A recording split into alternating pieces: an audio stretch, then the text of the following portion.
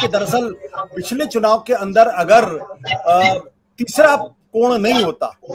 यानी अजीत जोगी का जो कोण था, अगर वो नहीं होता तो शायद बीजेपी का की सीटें इतनी कम नहीं आती, बल्कि ज़्यादा आती और शायद बराबरी की टक्कर होती आप ये कहने कहने की कोशिश कर रहे हैं। क्योंकि अगर आठ प्रतिशत जो इस बार बढ़ता हुआ दिखाई पड़ेगा, अगर ये तैतीस और आठ को जोड़ ली तो इकतालीस फ़ीसदी के आसपास खड़ा हो जाता है। जबकि कांग्रेस का वोटों का आंकड़ा तैतालीस के आसपास। ये आप कहना चाह रहे हैं?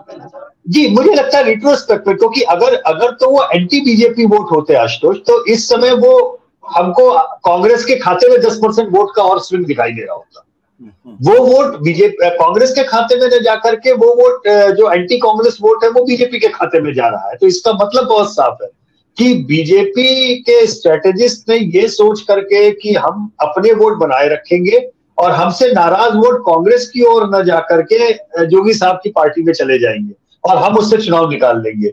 हुआ उल्टा, जो एंटी कांग्रेस, बीजेपी से नाराज़ वोट थे, वो जोगी जी की पार्टी में और बाकी जगहों पे चले गए। बीजेपी का खुद का एक तरह से उसमें नुकसान हो गया। कांग्रेस के जो वोट थे, वो कांग्रेस को पड़े और जो एंटी इनकम्बेंट वोट थे, वो उनको नैसर्गिक रूप से नेचुरली जो उनको मिलने थे, वो भी उनको पड़ गए। तो ये ये लग रहा है मुझे कि बहुत ज़्यादा जो जिसे ओवर स्ट्रेटेजाइज करना कहते हैं ना, ज़रूरत से ज़्यादा दिमाग लगा देना। ज़रूरत से ज़्यादा दिमाग लगा दिया गया। उसमें और शायद वो चीज़ भारी पड़ी। अब इस बार जो है ओवर सिंप्लीफाई ना हो जाए। ओवर सिंप्लीफाई से मतलब केवल ये सोच करके कि हम संगठन से चुनाव जीत लेंगे क्योंकि छत्तीसगढ़ मध्य भारत का वो हिस्सा रहा है जहाँ भारतीय जनसंघ के समय से इनका कोर ऑर्गेनाइजेशन वोट रहा है। हम्म, हम्म। तो हमें सीएम की ज़रूरत नहीं है हमें सीएम का चेहरा देने की ज़रूरत नहीं है। ये चीज़ ओवर सिंप्लीफाइड तरीके से करना कि हम केवल संगठन से लड़ जाएँगे, मुझे लग रहा है वो भारी पड़ जाएगा। क्योंकि पाँच साल लगभग रिटायर्ड इनिंग्स खेल रहे हैं रमन सिंह कहीं पर भी फोर फ्रंट में नहीं है। आपने कोई खबर नहीं सुनी, कोई इनके बारे में सुना नहीं। न तो बीजेपी ने उनको प्रोजेक्ट किया, न उनका अल्टरनेटिव दिया। राजस्थान के केस में जैसे वहाँ पर तो गरीब सिंह शेखावत को या बाकी लोगों को बीजेपी ने कोशिश की भरी पूरी केंद्रीय नेतृत्व ने कि वो प्रोजेक्ट हो जाए। हालाँकि नहीं हो पा रहे हैं, वहाँ पे अभी भी रानी साहिबा का नाम ज़्यादा आ रहा है उसमें लेकिन छत्तीसगढ़ के केस में तो कोशिश ही नहीं हुई। हम्म। और उसके बावजूद भी जैसा आपने कहा कि भरे पूरी इनेक्टिव रहने के बाद में भी अगर 25 से 30 परसेंट के बीच में रमन सिंह का नाम अगर आ रहा है तो ये केवल और केवल उनका पर्सनल कैपिटल आप मान लीजिए पॉलिटिकल जिसे कह सकते हैं कि जो सदाशयता या जो भी उनके साथ में है वो ले रहे हैं। तो ये ये कहीं ज़रूरत से ज़्यादा दिमाग लगाने वाली समस्या थी पिछली बार, ज़रूरत से कम दिमाग लगाने वाली समस्या ओवर सिंप्लीफाइड ना हो जाए ओवर कॉम्प्लिकेशन से ओवर सिंप्लीफाइड ना हो जाए बीजेपी के लिए। बिल्कुल। अभी जो सी, सी, सी वोटर का डेटा जिस पर हम चर्चा कर रहे हैं बड़ी दिलचस्प बात है। मैं अभी आंकड़े देख रहा हूँ 2018 के और बहुत ही दिलचस्प है कि अजीत जोगी की पार्टी को सात दशमलव छह प्रतिशत वोट मिला। और 2018 में ही जो बीजेपी का वोट ड्रॉप किया है 2013 की तुलना में वो है आठ दशमलव ज़ीरो चार। यानी लगभग उतने ही वोट खिसक के उधर चले गए। तो जो आपने कहा ना ज़्यादा दिमाग लगा दिया बीजेपी के स्ट्रेटजिस्ट ने इसका मतलब बिल्कुल स्पष्ट है छत्तीसगढ़ के अंदर जो कांग्रेस का वोटर है वो कांग्रेस का वोटर है जो बीजेपी का वोटर है बीजेपी का वोटर है। वो बीजेपी का वोटर बीजेपी से नाराज़ होकर वो कांग्रेस के पास नहीं जा रहा या कांग्रेस का वोटर नाराज़ होकर बीजेपी के पास नहीं जा रहा। है आशुतोष अगर आप तीन टर्म जो बीजेपी ने इलेक्शन जीते आप अगर उनके वोट शेयर पे निगाह डालेंगे तो आप आश्चर्यचकित रह जाएँगे कि कांग्रेस कितनी ज़्यादा क्लोज थी बीजेपी के। गैप कभी भी छत्तीसगढ़ में वोट शेयर का ज़्यादा नहीं रहा है बहुत विधानसभा चुनाव में। और टच एंड गो की तरह से ही बीजेपी ने निकाले थे वो चुनाव। रीजनल वेरिएशन है, वैसे सेंट्रल छत्तीसगढ़ सबसे बड़ा है साउथ वाला। साउथ में बीजेपी ने तीन इलेक्शन लगातार स्वीप किया पिछली बार। और जैसा कि आपने बोला था कि दुर्भाग्य से कांग्रेस के जो बड़े नेता थे, वो सब उस आतंकवादी घटना में मारे गए थे एक साथ। उसमें बड़ी तादाद में दक्षिण के बस्तर रीजन के भी नेता थे, जो गए थे जिनकी मृत्यु उसमें हो गई थी, जो शहीद हुए थे। तो वो एक वैक्यूम लीडरशिप का ऐसा आया जिसको बीजेपी ने पंद्रह साल तक उसका लीडरशिप का उनको मिला। लेकिन पिछले चुनाव में वो भी पलटा खाया था। अब देखना यहाँ पे ये है कि जो जो आप इशारा कर रहे हैं कि क्या ये इस बार स्ट्रेटेजी पिछली बार से ओवर सिंप्लीफाई होती है कि या वापस अपना बेस कैप्चर करते हैं? क्योंकि कांग्रेस का वोट कभी भी 40 फ़ीसदी से नीचे बेस वोट छत्तीसगढ़ में नहीं रहा है। इतना वोट उसका हमेशा रहा है। जो छत्तीसगढ़ मध्य प्रदेश राजस्थान इन जगहों पे कांग्रेस का इतना बेस वोट विधानसभा चुनाव में तो कम से कम रहा है। लोकसभा चुनाव में अंतर पड़ा है कि उसमें से करीब दस फ़ीसदी वोट ऐसा था जो मेरा मानना है कि वो स्प्लिट वोट में कांग्रेस को छोड़ करके बीजेपी की ओर गया है। लेकिन विधानसभा में 40 से नीचे कांग्रेस का वोट कभी नहीं। वैसे मैं नहीं मानता हूँ मेरा बेस 40 परसेंट का है कांग्रेस के लिए। हम्म, हम्म, हम्म। बिल्कुल। अब क्या इसके आधार पर हम लोकसभा का कोई अनुमान लगा सकते हैं? या एक से एक सवाल और।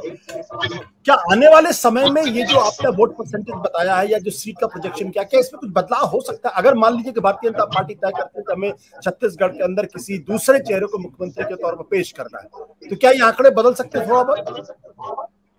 मुझे लगता है दो चीज़ों का अंतर पड़ेगा। एक तो अगर तो बीजेपी कोई मुख्यमंत्री पद का उम्मीदवार रमन सिंह या कोई भी जो है तो वो हमें देखना होगा कि देन बाइपोलैरिटी की रेस में बघेल साहब वर्सेस दैट फेस किस तरीके के आंकड़े लोग देखते हैं? नंबर एक चीज़। नंबर दो, कांग्रेस के लिहाज से सिटिंग एमएलए कितने रिपीट होते हैं? मैं बार बार कह रहा हूँ कि ये बहुत क्रिटिकल क्वेश्चन होगा। अदरवाइज़ हम देख चुके हैं कि बहुत बड़ी पॉपुलैरिटी के साथ में भी बड़े बड़े सुरमा भी धराशायी हो गए इन चक्करों में। और तीसरी चीज़, प्रधानमंत्री का कैंपेन ये बात हम लोग कई बार बातचीत कर चुके हैं। जिसको इम्पैक्ट पड़ता है नो डाउट लेकिन मेरा मानना यह है कि लोकसभा चुनाव जब हमारे पास में छह महीने, आठ महीने रह गए हों, और विधानसभा तो प्रधानमंत्री जो भी ऐसे इलेक्शन में कैंपेन करते हैं, उनको सुनने के लिए भीड़ बहुत जाती है और कहती है कि हम सुनने के लिए आए हैं, हम पाँच महीने बाद में हम वोट देंगे। तो प्रधानमंत्री इसीलिए हारे हुए चुनाव में भी इतनी मेहनत इसीलिए करते हैं, क्योंकि उनको मालूम है कि जब वो कैंपेन करने जाते हैं तो वोट नहीं देने वाला इंसान भी गिल्ट लेके घर जाता है कि हम बीजेपी को तो वोट अभी नहीं दे रहे हैं, लेकिन हम देंगे। तो एक हारा हुआ कर्नाटक का चुनाव भी वो इसीलिए जाते हैं पचास बार कि हम आगे के लिए हम इन्वेस्ट करें। और वो साफ़ दिखता है जब आप प्रधानमंत्री पद की रेटिंग वाले सवाल पे आप देखते हैं, और उसमें अंतर वो बहुत एकदम ऐसे ज़मीन आसमान का दिखता है। तो मानिए जैसे छियालीस सैतालीस परसेंट पे अगर भूपेश बघेल साहब ट्रेंड करते हैं तो प्रधानमंत्री की रेटिंग उससे बीस परसेंट और ऊपर हो जाती है हम्म। या जो कांग्रेस के केंद्रीय नेतृत्व है उसकी रेटिंग बीस परसेंट भी नहीं दिखाई देती तो वो एक तरह मेजर स्प्लिट वोट है बीस परसेंट का जो बहुत मायने रखता है और और मुझे लगता है कि शायद ये ये चीज़ अब इतनी ज़्यादा घर कर गई है वोटर्स में और नेताओं में कि जब कांग्रेस के या विपक्ष के नेता कैंपेन में जाते हैं तो वो आप अभी देखेंगे कि पूरे अभी से लेके चार पाँच महीने तक, मैं गारंटी लेता हूँ आशुतोष कि आप एक लाइन बघेल साहब के मुँह से प्रधानमंत्री के लिए उल्टी सीधी नहीं पाएँगे। क्योंकि वो समझदार आदमी है, उनको पता है कि एक बड़ा बेस है जो प्रधानमंत्री के रूप में मोदी को चाहता है। मैं उस बेस को नाराज़ नहीं करना चाहता, केवल इसलिए कि मुझे अपने पार्टी के केंद्रीय नेतृत्व को गवाही देनी पड़े। पहले मैं जीतूँगा वो मेरे लिए ज़्यादा महत्वपूर्ण है आ, उसकी लड़ाई। और इसमें गलत नहीं है कुछ भी। ये ये दरअसल प्रैक्टिकलिटी को दिखाता है कि ये लड़ाई भूपेश बघेल की लड़ाई है ये राहुल गांधी की लड़ाई नहीं है। मतलब बेहतर होगा कि जितना केंद्रीय नेतृत्व इस लड़ाई से पीछे रहे। हमने सबसे बड़ा उदाहरण उसका हिमाचल प्रदेश में देख लिया। तीन रीजनल लीडर्स को आगे करके सेंट्रलाइज इलेक्शन को डिसेंट्रलाइज करके कांग्रेस ने चुनाव जीत लिया हिमाचल प्रदेश का। और केंद्रीय नेतृत्व ने सबसे बड़ी भूमिका उसमें यही निभाई आशुतोष की, केंद्रीय नेतृत्व उस इलेक्शन से दूर रहा। जितना वो दूर रहा लोकलाइजेशन ऑफ़ इलेक्शन में कांग्रेस को उतना ज़्यादा लाभ हुआ। यही बात छत्तीसगढ़ पे भी लागू होती है। बिल्कुल।